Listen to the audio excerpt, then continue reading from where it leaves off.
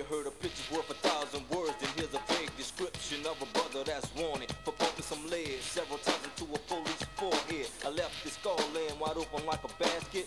Now he's a candidate for woman bored in a casket, laying face down in a ditch. But when you know a weak clucker in my hood snitched, and so down my description for a reward. So now it's time for the weak snitch to get scarred. Then I loaded up my 12 gauge. I heard my name on the news and see my face on the front page of a newspaper that goes from coast to coast. It read wanted by 5 and feared by most. Then I went to the snitch house and blowed down his dope. You should have seen him trying to flee from the gun smoke. Several rounds hit him in the back, then I fled. Leaving a trail of a police and a snitch dead. Because I was raised from the streets. And the streets taught a brother like me to play for keeps. So if you ever see my face in the morning for a crime or a killing, remember, you seen a portrait of the villain. A portrait of a villain. A portrait of a villain. A portrait of a villain.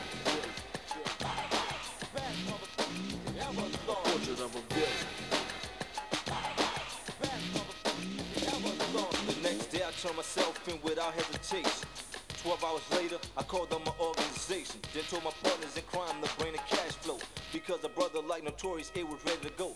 Pick up some chicks and issue out stitches. Drank a 40 ounce, sell some dope and add to my riches. Then a half an hour later had passed and without a doubt. A police came to my cell and said time to roll out. I grabbed my stuff, signed my paperwork and headed for the door. And said to the whole police station, hey yo, if y'all ever see my face in the morning for a crime or a killing, just look in your files for a portrait of. A portrait of a villain. A portrait of a villain. A portrait of a villain. Now I'm back on the street, so take a good look and realize on the ride is a notorious crook. Down with my partners and crime to enhance my well remorse for a sucker when I'm jacking them is never felt. I just to you and your whole calm. Say what's up, then introduce you to that firearm. And like a fool, one chump try to play hero. Stunting in front for his hoe, now he's a dead zero. Laying in the ground, taking up space. Gunshot wounds to the face.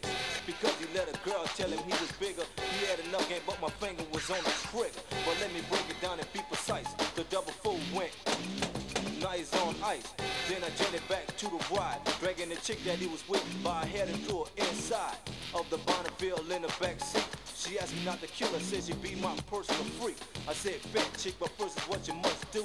Take off your clothes, sex me, and sex my whole crew. And after she was finished, I had to lighten the load. I caught villain in her forehead, then threw her on the side of the road. Now she's a victim scarred from witnessing a killing. And every time her mind wanders, she out flat makes up the villain.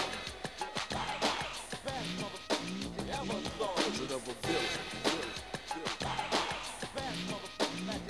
Portrait of a villain. A portrait of a villain.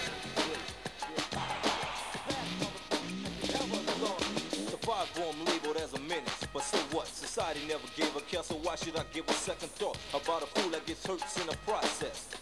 I saw my problem by putting slugs in a fool's chest. And you say abide by law, your man forget that I was a victim of police brutality. So what's up with that? Garbage that you're stressing about doing the right thing. First you put dope in my hood, now I wanna arrest for slinging it. But I know it's part of a political plot for me to commit genocide, my brother man, and let you take what I've got. But you ain't taking up from me but a bullet from the barrel of this tech. Now that I'm strapped with when I pull it, so you better be invincible.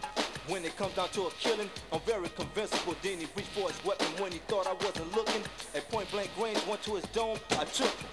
Now he's a victim, prey, not to a crime but a killing. Somebody should have warned him about a villain.